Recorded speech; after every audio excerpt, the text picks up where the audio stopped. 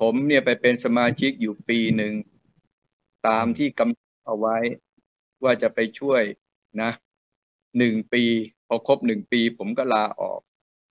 ถามว่ารู้จักแกยังไง ผมรู้จักแกมานานหลายสิบปีโอ้นะแต่ที่ไปร่วมพักจริง ๆ เนี่ยหนึ่งปี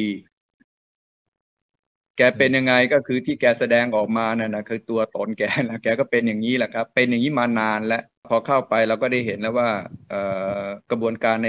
พักเนี่ย มันก็ไม่เป็นไปอย่างที่เราเอ่อเราคิดนะ เราหวังนะครับ ผมไม่เคยร่วมประชุมพักแม้แต่ครั้งเดียวนะหนึ่งปีเต็มๆไม่เคยเข้าร่วมประชุมพักเขาเลยครับ ไม่เคยไปยุ่งเกี่ยวไม่เคยไปอะไรเลย ไม่เคยเลยครับ นะครับอืมเพราะว่ารู้รู้ว่าปัญปัญหาของพรรคนี้ก็มีเยอะ